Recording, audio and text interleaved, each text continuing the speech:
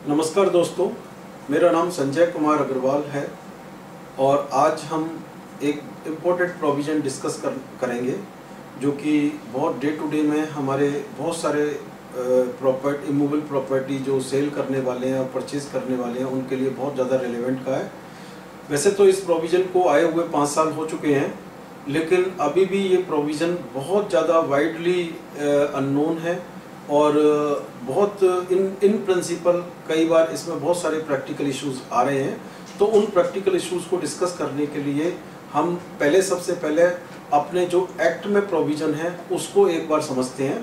तो एक्ट में प्रोविज़न को समझने के लिए इसको हम तीन इम्पोर्टेंट एस्पेक्ट डिस्कस करने हैं कि ये section 194 I A of the income tax act में ये प्रोविज़न आता है। जिसके तहत नंबर वन कि किस केस में कब और किस केस में टैक्स डिडक्ट होना है। और दूसरा, अगर टैक्स डिडक्ट होना है तो कितना अमाउंट ऑफ़ टैक्स डिडक्ट होना है। और तीसरा, अगर कोई थ्रेस लिमिट है तो वो क्या है? एंड चौथा इम्पोर्टेंट आस्पेक्ट है कि अगर टैक्स डिडक्ट होना है तो बायर को, जो बायर है, उसको टैक्स डिडक्शन के बाद में क्या क्या प्रोसीजरल फॉर्मेलिटीज पूरी करनी है सो so दैट कि वो इस इस प्रोविज़न का कंप्लाइंस कर पाए। तो सबसे पहले हम डिस्कस करते हैं कि किस किसने टैक्स डिडक्ट करना है। तो जैसा कि आपको पता है कि अगर कोई भी बायर है, वो प्रॉपर्टी अगर इमूवल प्रॉपर्टी परचेज कर रहा है तो उस केस में उसकी रेस्पॉन्सिबिलिटी है कि वो टैक्स डिडक्ट करे। लेकिन कब टैक्स डिडक्ट करना है? टैक्स डिडक्ट करने की कुछ कंडीशंस हैं। तो सबसे पहली कंडीशन है कि अगर जो प्रॉपर्टी वो परचेज कर रहा है, वो इमूवल प्रॉपर्टी है other than rural agriculture land जिसको कि गवर्नमेंट ने एक्सक्लूड किया हुआ है, क्योंकि वो अदरवाइज़ भी टैक्सेबल नहीं है। अगर तो प्रॉपर्टी जो है, वो इमूवल प्रॉपर्टी होनी चाहिए other than agriculture land number two कि प्रॉपर्टी की वैल्यू 50 लाख से ज़्यादा होनी चाहिए। एंड नंबर थ्री कि प्रॉपर्टी के केस में प्रॉपर्टी के केस में जो रेजिडेंट जो सेलर है, वो रेजिडेंट पर्सन होना चाहिए। तो ये तीन कंडीशन अगर पूरी होती है तो इस सेक्शन की एप्लीकेबिलिटी आ जाती है और उस केस में बायर को टैक्स डिडक्ट करना होता है। तो अब हम देखते हैं कि कितना टैक्स डिडक्ट करना होता है कि अगर बायर के पास सेलर का पेन नंबर है तो उस केस में उसको वन परसेंट टैक्स डिडक्ट करना है। अगर बायर के पास में सेलर का पेन नंबर नहीं है और सेलर पेन नंबर नहीं दे पाता अपना तो उस केस में वो twenty percent of the amount paid for the property tax deduct करना है। और किस समय उसको टैक्स डिडक्ट करना है जो तीसरा एस्पेक्ट है। तो उस समय, जिस समय वो बायर को पेमेंट कर रहा हो, या उस समय कि जब उसने उस अमाउंट को बायर के सेलर के अकाउंट में क्रेडिट कर दिया हो बायर ने तो उन दोनों में से जो भी परिस्थिति पहले होगी तो उसको उस पर वन पर, उसको उस पर टैक्स डिडक्ट करने की लाइबिलिटी आती है। तो अब इसमें नेक्स्ट एस्पेक्ट आता है प्रोसीजरल का एस्पेक्ट तो प्रोसीजर के एस्पेक्ट में इम्पोर्टेंट एस्पेक्ट ये है कि उसको बायर को ये सारी फॉर्मेलिटीज करने के लिए वो सारे काम करने पड़ेंगे जो एक बिजनेसमैन को करने पड़ते हैं टैक्स डिडक्शन के लिए, या उसके लिए कोई स्पेशल प्रोविज़न है। तो दोस्तों, इसके लिए एक स्पेशल प्रोविज़न गवर्नमेंट ने दिया है कि बायर को किसी तरीके के कोई एक प्रावधान मतलब कोई टेन नंबर या कोई tax deduction account number apply नहीं करना पड़ेगा। जब भी बायर को इस तरीके की प्रॉपर्टी को बाई करता है तो सेलर के केस में अगर ये प्रोविज़न एप्लीकेबल होता है तो एक सिंपली उसकी इनकम टैक्स के पोर्टल पर जाके फॉर्म 26 क्यूबी में अपना उसका टैक्स डिपॉजिट करना है और उसको फॉर्म 16 बी देना है, जो उसका प्रमाण पत्र है कि उसने टैक्स उसके उसके ब्याह पर टैक्स डिडक्ट हुआ है। और ये बड़ा सरल प्रोसीजर है पैन नंबर होना ज़रूरी है। तो अब हम इसमें देखते हैं कि ये तो लॉ हो गया। अब हम देखते हैं कि इसमें प्रैक्टिकल इश्यूज़ क्या आ रहे हैं? जो भी मार्केट में वाइड स्प्रेड प्रॉपर्टी की सेल परचेज हो रही है, इसमें प्रैक्टिकल इश्यूज़ क्या आ रहे हैं?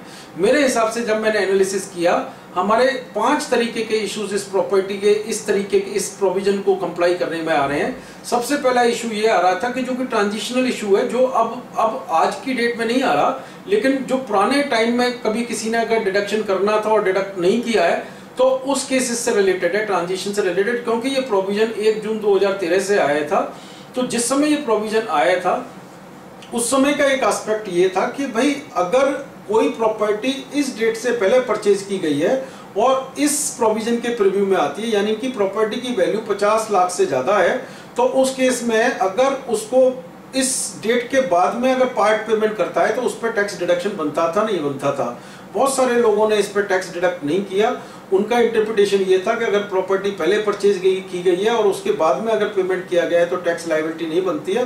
बट ये कंटिन्यूस इशूज चल रहे हैं। इसमें हमारा पॉइंट ऑफ़ व्यू ये है कि लॉ का जो इंटरप्रिटेशन निकल के आता है कि आ, अगर अगर प्रॉपर्टी पहले परचेज की गई थी तो जो भी और वैल्यू इस एक्ट के प्रोविज़न में आती थी तो बाद में जो भी पेमेंट उस प्रॉपर्टी से रिलेटेड हो रहे हैं तो उसमें भी हमें डिडक्शन की लाइबिलिटी बनती है।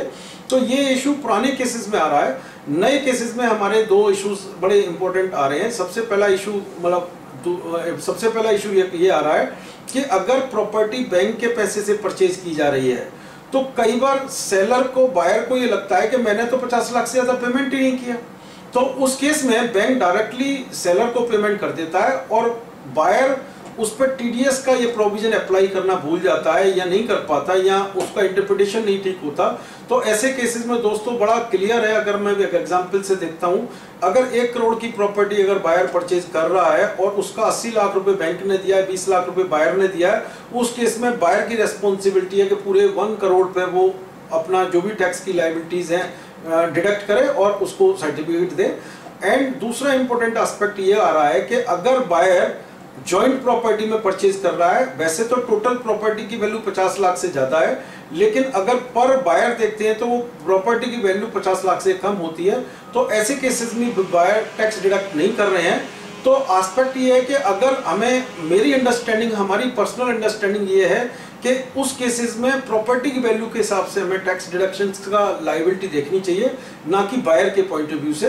तो ऐसे केसेस में अगर प्रॉपर्टी की वैल्यू अगर एक एग्जांपल के तहत अगर 60 लाख है और पर बायर 30 लाख रुपए के पेमेंट हो रहे हैं तो उस केस में भी हमारे, हमारा अंडरस्टैंडिंग ये है कि उसको बायर को टैक्स डिडक्ट करना चाहिए और डिपोजिट करना चाहिए, क्योंकि ऐसे केसेस में ये एंटी एविजन प्रोविजंस हैं और उसमें compliance is a better rescue for the buyer so that के कल को उसको अनवांटेड टैक्स लाइबिलिटी ना आए। एक इसमें इशू एक और और बड़ा इशू आ रहा है कि अगर सेलर रेजिडेंट है और बायर रेजिडेंट है या नॉन रेजिडेंट है तो उस केस में लॉ एप्लीकेबल होता है। प्रॉपर्टी की लोकेशन इंपॉर्टेंट नहीं है। प्रॉपर्टी की लोकेशन अगर इंडिया में है और या प्रॉपर्टी की लोकेशन आउटसाइड इंडिया में है, तब भी ये लॉ की एप्लीकेबिलिटी हो रही है। तो मोस्ट ऑफ़ दी केसेस में कई बार ऐसी मिथ चल रही है कि अगर प्रॉपर्टी का जो सेलर है, अगर वो नॉन रेजिडेंट है, तब भी ये वाला प्रोविज़न लोग एप्लीकेबल कर रहे हैं। जो कि मेरे अंडरस्टैंडिंग के हिसाब से ये प्रोविज़न एप्लीकेबल नहीं होता। इसमें सेक्शन 195 का प्रोविज़न एप्लीकेबल होता है, जो कि प्रोसीजरली ज़्यादा काम करना पड़ता है उसमें। तो दोस्तों, इस तरीके के इश्यूज़ को बहुत अच्छे से समझने के लिए हमें ये जो इश्यूज़ आ रहे हैं, उसको in principle in in the spirit of the law apply करना है सो so दैट कि कल को हम अपनी इंटरेस्ट या पेनल्टी की लाइबिलिटी से बच सकें। एंड इसके साथ ही अगर कोई और क्वेश्चन है तो आप मेरे से आ, हमारी वेबसाइट पर डाल सकते हैं। Thank you so much